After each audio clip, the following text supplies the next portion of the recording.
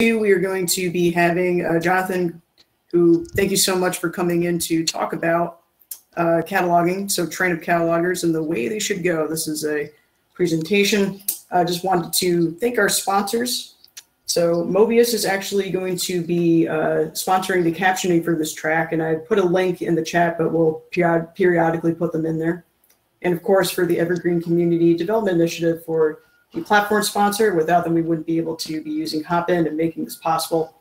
So thank you very much for sponsors. Uh, this is a recorded session, so uh, will be available after the conference is over. And if you have any questions for Jonathan, feel free to post them in the chat and I will let him know. So whenever you're ready, Jonathan, you can take it away. Alrighty, well, um, hello everyone. Thank you for coming. It is really an honor for me to be here. My name is Jonathan Moore. I'm the cataloger at Wyomissing Public Library, a small public library in southeastern Pennsylvania, just outside of the city of Reading. And more to the point of what I will be speaking with you about today, I also serve as chair of the cataloging committee for SPARC, Pennsylvania's statewide evergreen consortium. SPARC has recently completed a very extensive project where we have completely rethought our approach to cataloging, how we structure our permissions, how we provide training, and how we certify our catalogers. And during the next 45 minutes or so, I would like to tell you about our journey. Here is a very rough outline of what I will be covering today. I'll start by sharing a little about our consortium, our history, our unique characteristics, and how these impacted our cataloging environment. Next, I'll focus on the cataloging issues that we faced, the things that made us feel that change was necessary. Then I'll give our strategy for addressing the problems. After that, I will go into the gritty details of putting our strategy into practice. And finally, I'll close with a few I'll close with a few words on the results and on the lessons that we learned along the way.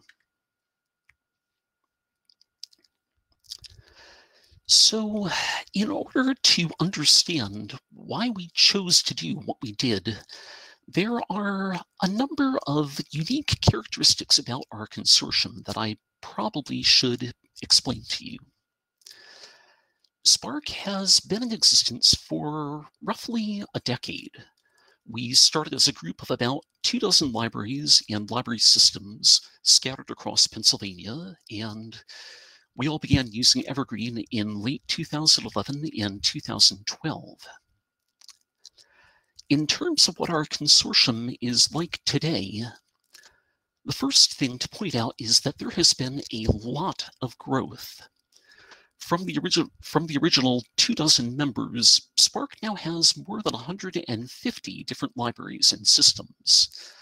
That means we've got a lot more people cataloging, and we have a much larger, much more complex shared catalog.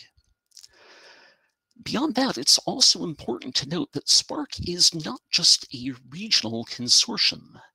Our members are spread out, located across all parts of the map of Pennsylvania. However, Spark is statewide in a geographic sense, but not in an all-inclusive sense. There are plenty of libraries, plenty of systems that don't belong to us. And while some of our members on the map, many more of them are not. And within the list of member institutions, we are very, very diverse, both in terms of the size of the population that we serve and the number of librarians at each location. When you put all these factors together, they add up to a major difficulty for Spark, getting a sense of consortium-wide community making changes across all of Spark, getting all of our members to act in the same way has always been inherently difficult.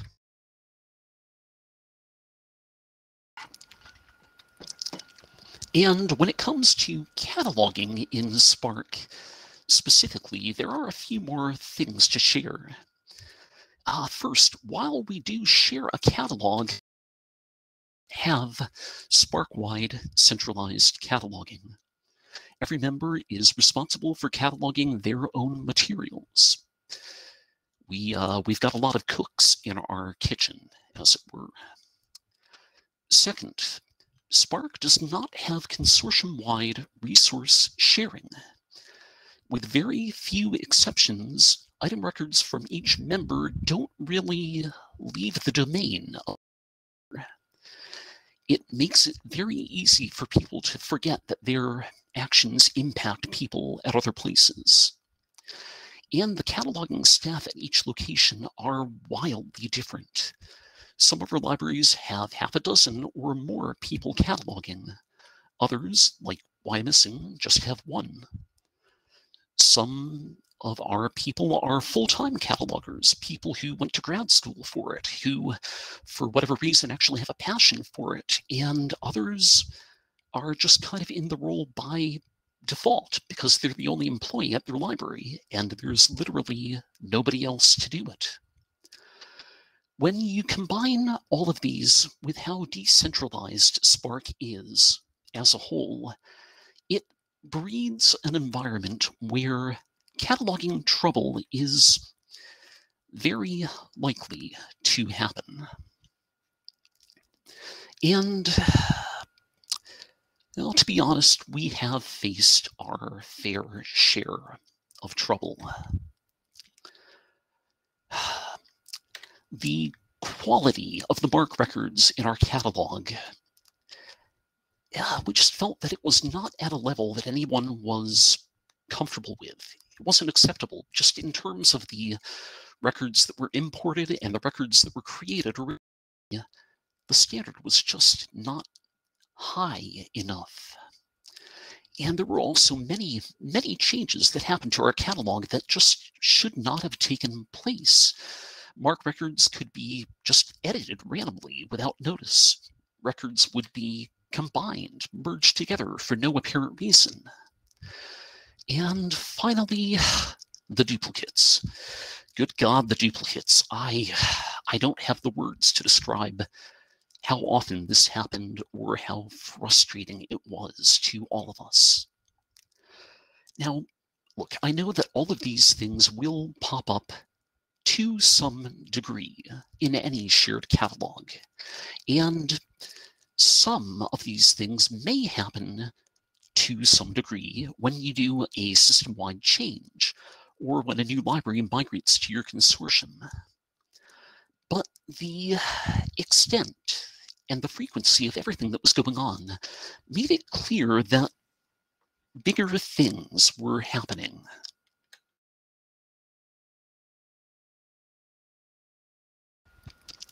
Anyway, those are all of the bad things that people noticed, but in and of themselves, they weren't really the problem. They were just symptoms, side of underlying cause. Us. There's no way to, there's really no polite way to say this. I mean, when you get right down to it, our catalogers were just not using Evergreen properly. Um, to be clear, I, I want to be very clear about this. I'm not saying that it was all of them or even the majority of them. And I'm not saying this out of blame or out of anger or, or out of any kind of malice. People were making honest mistakes, but the mistakes were still causing damage. And we needed to face the facts. Until we addressed this foundational cause of trouble, no other changes, no other improvements had a chance of lasting. So, with the adoption of that premise, we had to do a little bit of introspection. And when we took a fresh look at our cataloging environment, we found three contributing factors the structure of our cataloging permissions, the lack of uniform cataloging training, and the complete, and the complete absence of any kind of system of accountability. Allow me to go into a little bit more detail about these. First, uh, with the structure of our cataloging permissions, with the way that things were, we basically had a two-tier system. If you hired a new cataloger at a, at a Spark library and you wanted to create a new staff account for them, you had two choices. You could either have them be at the lower level where they could manage local holdings and they could import single records using Z39.50 or you could choose to let them do literally everything else. Create original MARC records, edit current MARC records, delete MARC, merge MARC, manage monograph parts, overlay MARC records, do batch changes to records, import groups of MARC records, manage electronic records. It was just a system that was rife with unequal balance. Rather than the kind of 50 that you would expect with a system like this, it was more like 1585. It was almost all or nothing. You, you could either have your cataloger do the bare minimum, or you could give them access to literally everything, whether they needed all that extra stuff or not. We desperately needed more options when deciding what we wanted to allow our catalogers to do.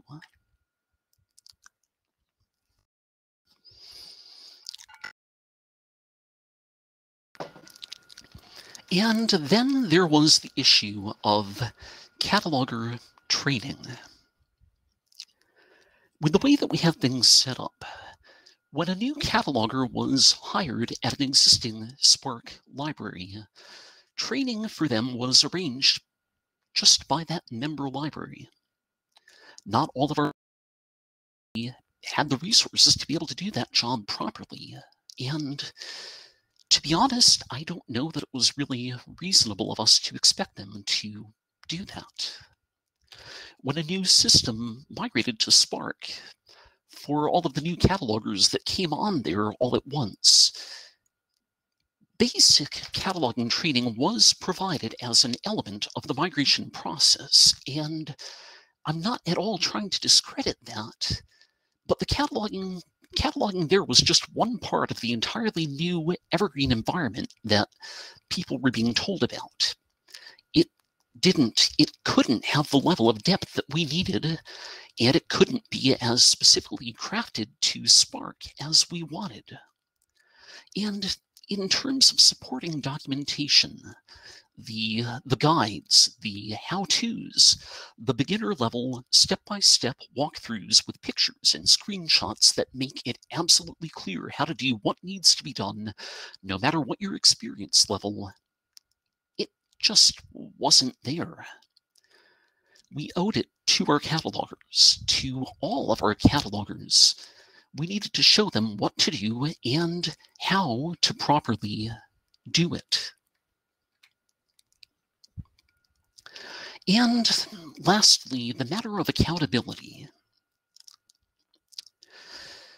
In any shared bibliographic catalog, there's always the potential for a lot of unintentional damage to be done.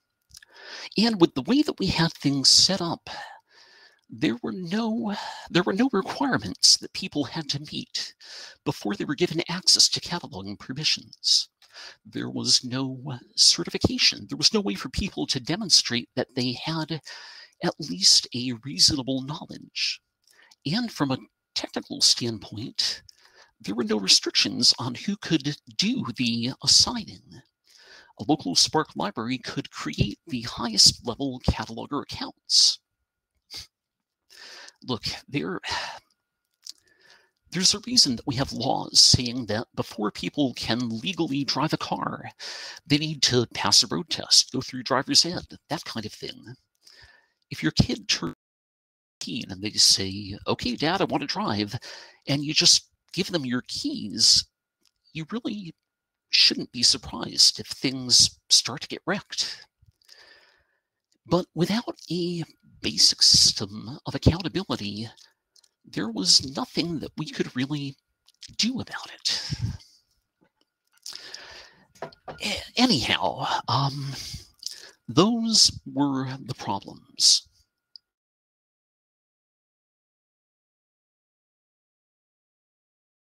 Here is what we decided to do. I'll give a very quick overview of our strategy first, and then go into more details when I talk about the process of implementation. In terms of having unequal cataloging tiers, because we were unhappy with the current structure, we decided to build an entirely new one. We started from the ground up we made a structure that had more levels, and we completely remapped what permission was assigned to each tier. To address our training needs, we created an entirely new set of standardized cataloging training courses, explain, explaining how literally how to do everything that a cataloger might need to do.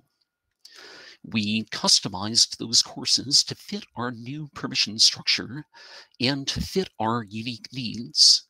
And most importantly, we made sure that all of our catalogers had access to the courses, no matter who they were or where they came from. And because we needed some way for catalogers to show accountability, we created a very rudimentary certification system, a way for catalogers to demonstrate that they had a reasonable knowledge of how to responsibly use their permissions.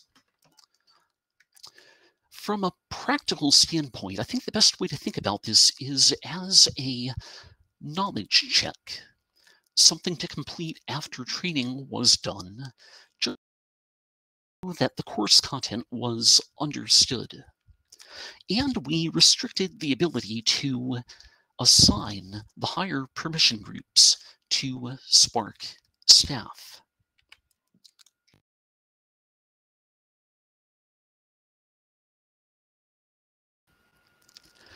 Now that you know the gist of our plan of attack, let me share some about what it was like to put that plan into action. When it comes to creating a new creating a new permission structure, the first thing that you need to decide is how many tiers should the new system have? How many levels? How how large? How extended should it be? Well, one of the things that we quickly discovered is that there is a very, very fine line between not having enough options and having far too many. When your staff look at a permission system, you know, for cataloging, for circulation, or whatever, it shouldn't be a complicated task for them to figure out where they belong. Another point, using a hierarchy can make things a lot easier for you. Basically, let's say that, you know, if before somebody can take training for level two of a structure, they need to start out by taking training for level one. Before somebody can train for level three, they start by training for level one, then they take level two, then they take level three, and so on because everything builds on itself, it saves a lot of time. Ultimately, with Spark, we decided to move to a three-tier structure, adding just one more level. I, I, I know it doesn't seem like that big of a change, but making that small shift gave us a lot more flexibility. Once you know how many tiers you want to be working with, the next question becomes, how should you decide what permission goes to what level? Well, one, per, one, one approach that you could take is to match permission allocations to what the standard cataloging workflow looks like at your consortium. For Spark, however, this didn't it didn't really work. As I alluded to earlier, Spark catalogers didn't have a standard workflow. We uh, we were diverse, and almost everybody did things differently. In terms of deciding what permission should go where, the best that I can suggest is this. Find a strategy that matches your basic project that matches your basic project goals and stick with it.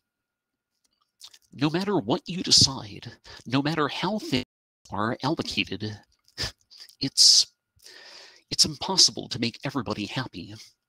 All that you can do is trust that your plan is for the best and wait for people to come around. In terms of what we decided to do, uh, well, I don't mean this to sound cynical or anything, but because we were basically trying to combat human error, the basic mindset that we started with was if a person unknowingly uses a cataloging permission in the wrong way, how much accidental how much accidental damage could they cause? And when we started ranking the permissions from least dangerous to most dangerous, we noticed that they correlated very closely with the amount of change that a person from one member institution could affect to the Spark-wide catalog. So that's basically what we went with. With the three-tiered system that we came up with, at the entry level, catalogers only have the ability to change local holdings, basically to create, edit, transfer, and delete item records. At the next level up, we introduce the ability to bring in new MARC records to the catalog using various means. Z39.50, MARC batch import, that kind of thing.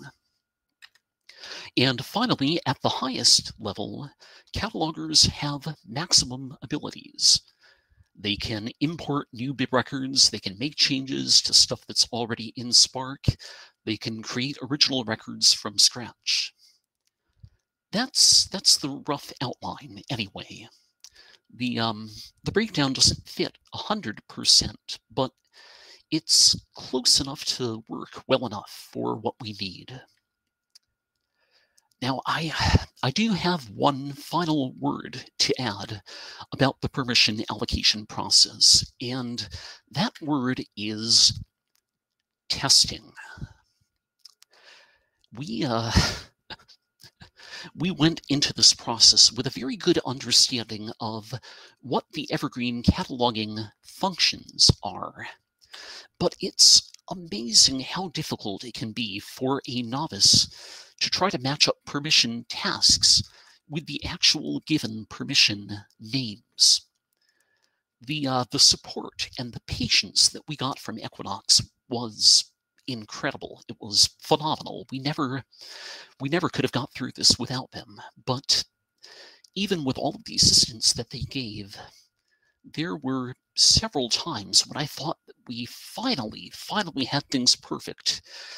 And then we found out that we didn't. Um, so we would strongly recommend that you involve as many people as possible from as many places as possible in the hunt for bugs.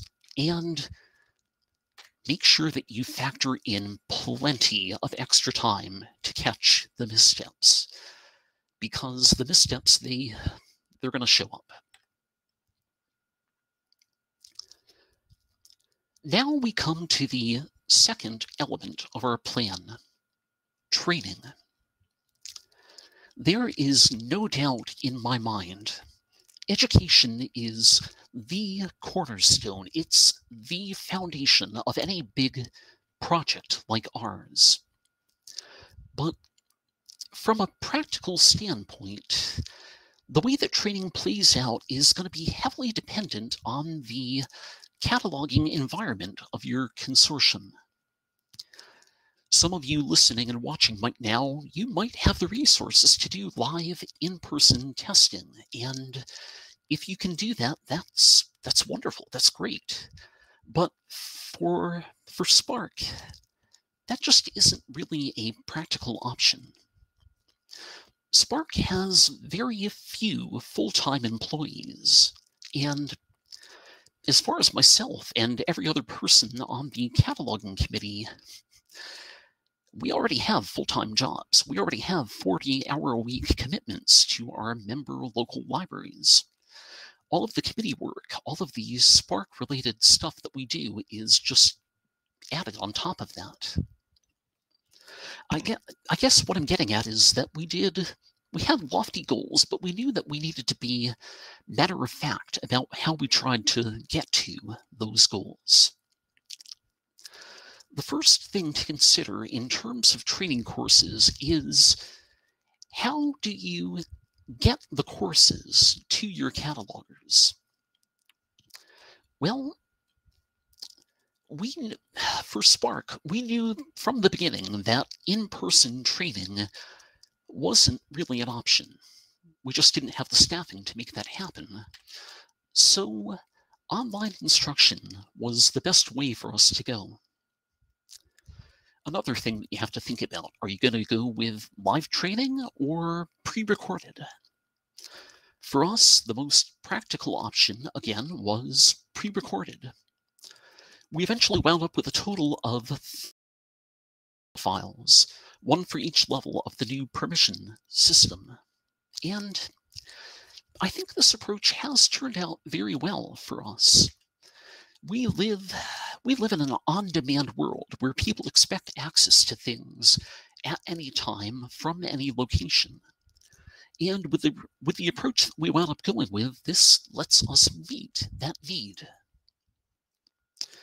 Um, incidentally, the, the delivery vehicle that we wound up going with was, it's a software called GoToWebinar. Makes it very easy to keep track of course registration and to keep track and to contract to keep track of who's signed up and to contact them. Now, when it comes to the creation and organization of your courses, the first thing that I would say is this not need to recreate the wheel. The content of our classes was heavily, heavily based on examples provided by Evergreen, Indiana. We reached out to them very early in our process, and one of their trainers was kind enough to share their PowerPoint templates, what they used in their training courses. She even let me sit in on one of their online training sessions. And just incidentally, if anybody listening, if you want to steal from us, you are more than welcome to do so. Uh, when you go to the screen, at the final screen of this presentation, we have links that'll tell you where to go and how to get everything that we did. Another, another thought, be very methodical in how you present your content each of the training videos that we made is broken in. It's each of them are broken down into a dozen or more segments, and each segment is about only one function. Um, I know it sounds kind of basic, but this was absolutely key in making things accessible to everybody. And finally, before you introduce a new topic, make sure that you have already provided everything that stand. Introduce new terminology at the beginning. Make sure that you explain theory and thinking before you show any walkthroughs. Whatever, however you present, make sure that you have a knowledge foundation already in place to support it. Once all of the once all of the organization and the prep work is done, it came time to actually record the video footage. And there's no way to sugarcoat things. This uh, this took a while. But I do have a few pointers to share. When it comes to the recording process, I would strongly recommend that you do not capture footage directly from Evergreen. Rather, just take screenshots of key moments and then import them into PowerPoint and replicate the live experience. I, will admit that taking this approach, it involves a little bit more prep work at the beginning, but the advantages more than make up for it. Allow me to give you a brief example of what I mean. What we're looking at now is it's from one of our courses that tells people how to do Z39.50. And by taking this approach, you get to put in arrows and guides on screen, basic additions that allow you to highlight exactly what part of the screen you want your audience to look at. Rather than just kind of wave a mouse around, you can make it really obvious to people. Hey, everybody, look here, and then look in those two places down there, and then finally look here. A few other benefits of this approach. The job of editing video footage becomes much, much easier. If you need to stop recording for whatever reason, and then you want to pick things up at the same place, you can guarantee that every pixel is going to be in the exact same place that it was when you stopped.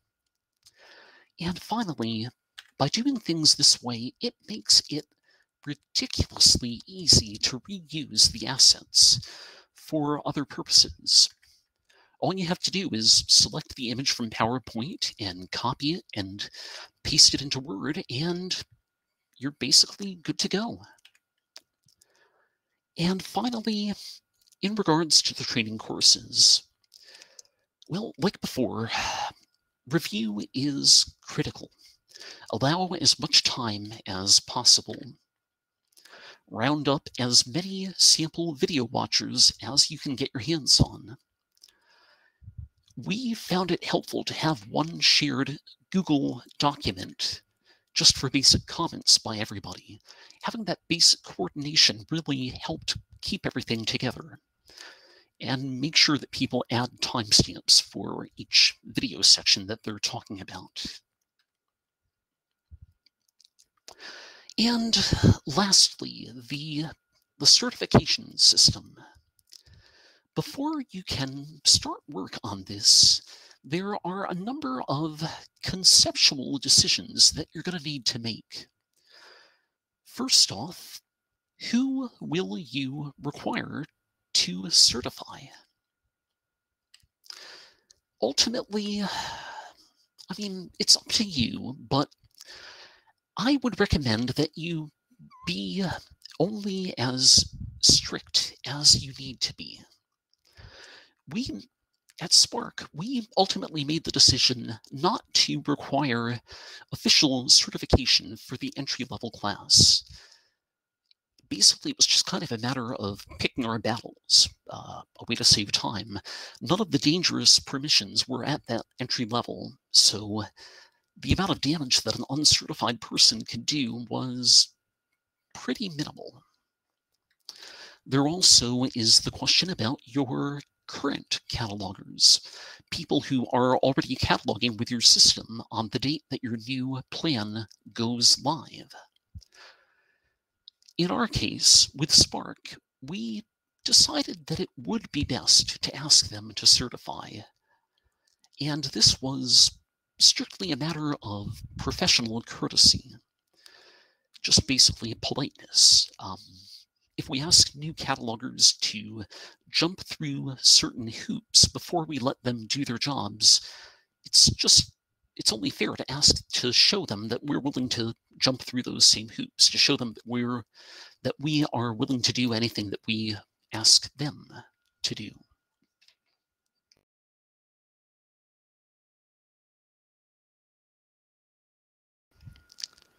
Once all of that is decided, the next thing to think about is how will you administer the process? given our resources, we knew that certification would need to be done online.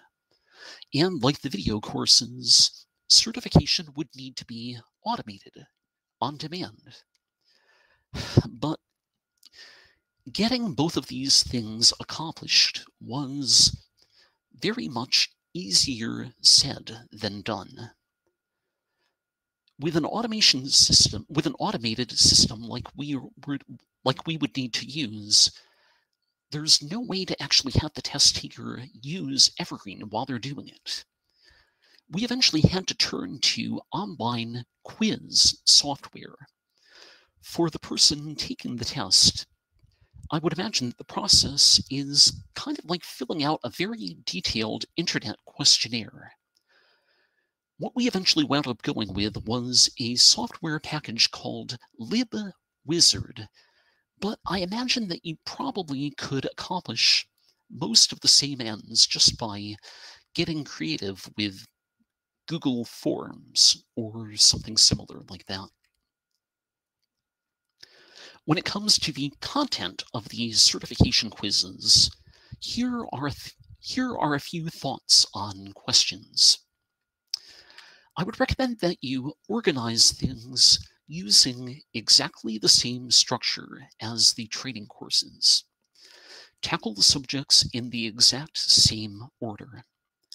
If a test taker isn't sure about the answer and they want to double back and check the course, there should never be any doubt as far as where they should be looking.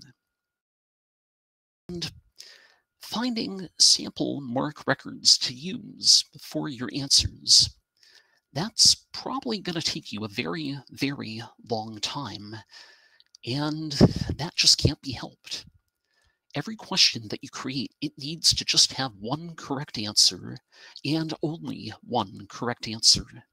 And all of the incorrect answers need to be plausible, but ideally they need to be incorrect in a different way. I know it's complicated and it's a lot of effort, but for the quizzes to work, you just kind of need to do it. Of how to ask things as detailed as the questions may need to be, always try to keep things as basic and as simple as you can. Don't make things super difficult just for the sake of being clever. It, it accomplishes nothing, really. And during review, or during the first stages of implementation, if certain questions are being answered incorrectly by most people, and if the thing in question isn't absolutely life or death, change things up, switch things. The very last thing that you're going to need to decide upon with certification is what to do about evaluating test results. And I'm not really sure that there is one right way to approach this quandary. You can choose to take a strict pass or fail approach, but for us, ultimately, I don't think that was really the best way to go.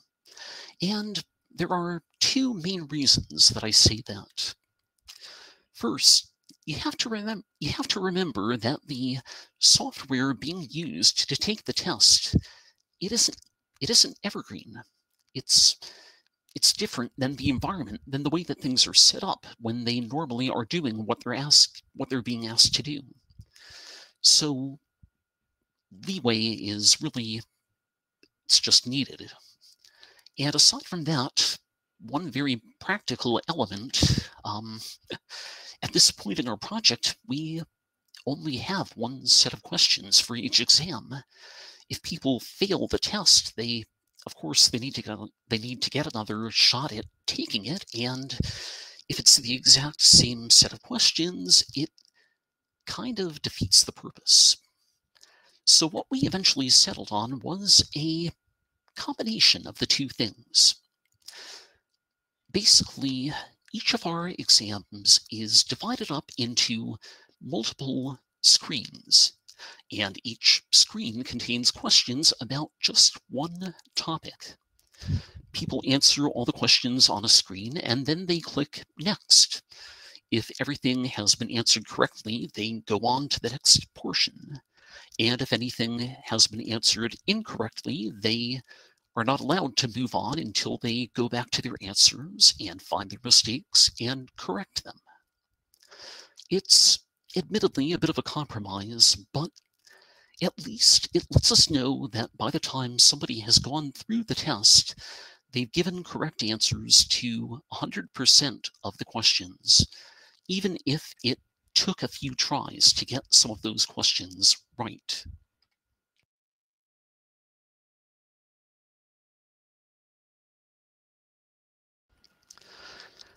So, Shell, that's our story. From start to finish, from initial proposal to go live day, the whole project took more than a year of very hard work. But, you know, the system has been in place now for a few months.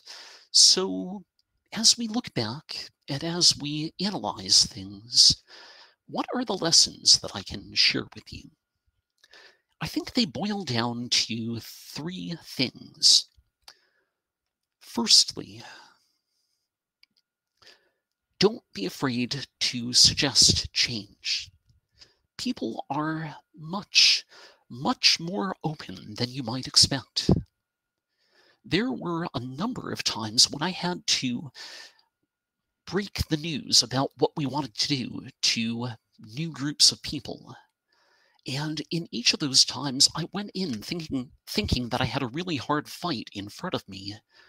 But I've got to say that I was very surprised and very happy by how eager people have been on the whole to adopt change.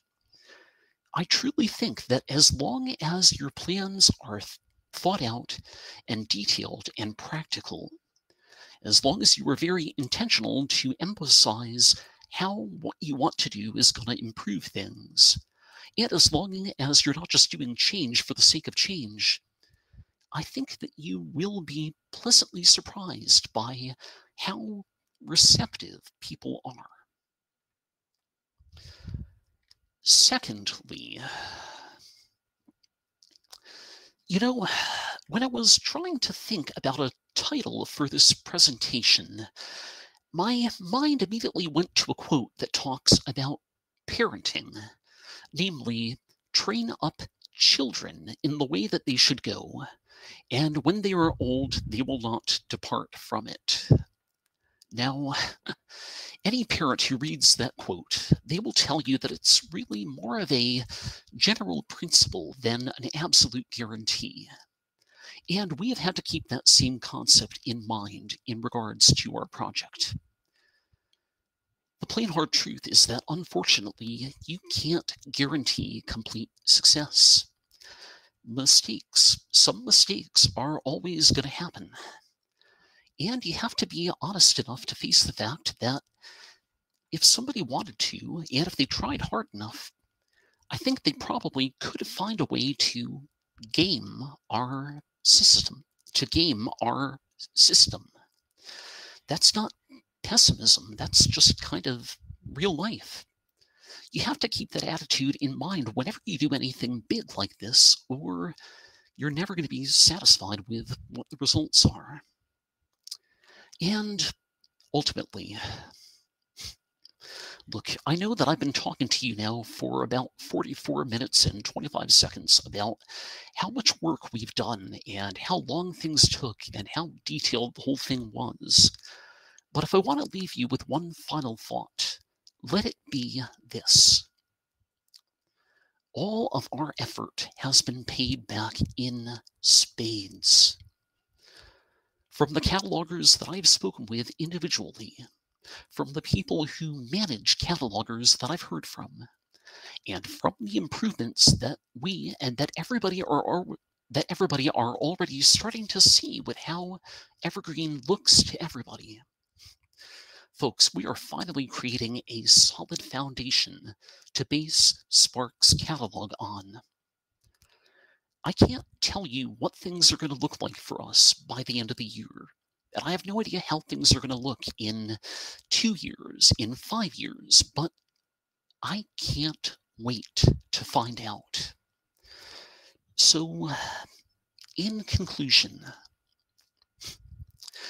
don't ever, don't ever hesitate to rethink. Don't ever be don't ever be afraid to re-examine your basic approach to cataloging or to any aspect of librarianship. I can testify it pays off.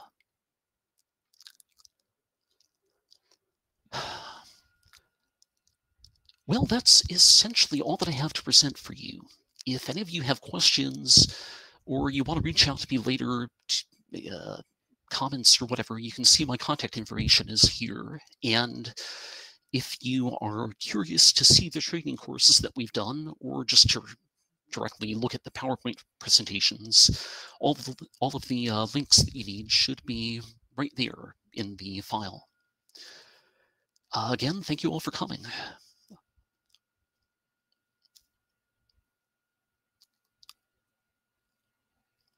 Awesome. Thank you so much, Jonathan. A lot of really great responses from everybody, overwhelmingly positive response for your um, presentation. We do have some questions in here, but because we have just a few minutes before we got to get the oh, next one yeah. going, going, it's okay. Um, I'll ask a couple of them, and if anyone has not had their questions answered, I encourage you also to po possibly check in on the um, open discussions. I think there's one for cataloging specifically, so um, you can definitely pop in there and ask as well if uh, Jonathan is around. Absolutely. So let's Sure. kind of go back. All right. So one question was, uh, can the mid-level group edit records that they import if the records from Z39.50 or vendors don't correspond to your cataloging best practices? Uh, they do have the chance to do that during the import process, yes. Um, if a level 2 cataloger looks in Spark and they don't find what they need, they have the option to look out in Z39 to 50 or wherever. And if the record that they find doesn't match what we want, they have a chance before officially bringing it into Spark. They do have the chance to edit it and to make the corrections that they feel that we need.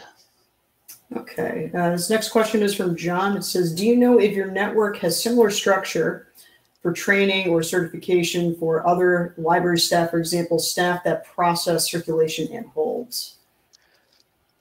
To tell the truth, we do not at the moment, no. Um, I know there has, I've heard some people talk, there may be some plans like that in the future, but uh, for the moment, I do not have anything concrete that I can share with you, unfortunately. Okay. Um, one question I think is answered by this slide, which is how exactly do we get access to the cataloging training? yep. Seems to be there a link right there. And just one thing to comment, if you do go to click the link for the training courses, it is going to ask you to put in your Spark location. And you don't have to worry if you're not actually from Pennsylvania. You can put whatever you like there. It just wants some kind of text. Um, just enter whatever and click submit, and you should be good to go. Okay. Um, do you envision refresher courses for certified staff? Um, that is something we have thought about. Um, to, to tell the truth, that isn't. We don't have any current plans for that. The approach that we more take in Spark, we have what we call cataloging town halls every two or three times a year where we let current staff get, get together and ask questions, ask for demonstrations. Um, that's more the vehicle that we use to let people ask for questions and ask for refreshers in individual topics. All right. And this uh, last one, just for the interest of time, uh, do you have any docs from the which permissions for which tasks parts of the tree you ended up with? Uh, we do actually, yes. Um, and I actually will make sure that I import a link for that into the final version of the PowerPoint slide that goes. But if you look in the training courses, each one of them, after the introduction, gives an outline of specifically what each level in our system is able to do. So looking there or in other places, I'll make sure that that information does get out there. All right, great. Well, thank you again, Jonathan, so much. Uh, was there any other comments you wanted to uh, mention? Closing. I believe that's it. Thank okay. you, everyone. Yeah, thank, uh, great session. Um, great stuff. And again, this is recorded so that we will be able to rewatch this, or if you're popping in from the next one, haven't got a chance to take a look at this, no worries. You can watch it uh, post conference. So I'm um, sorry that I couldn't get through all the questions. It was a very engaging conversation, but again, um, I'm certain that you could message Jonathan, or also if you want to pop into an open discussion room, we have several available. Uh, and also take a look at the expo, uh, see what the exhibitors have up before the next track. And we got, let's see, I'm going to go ahead and share my screen for the next session here.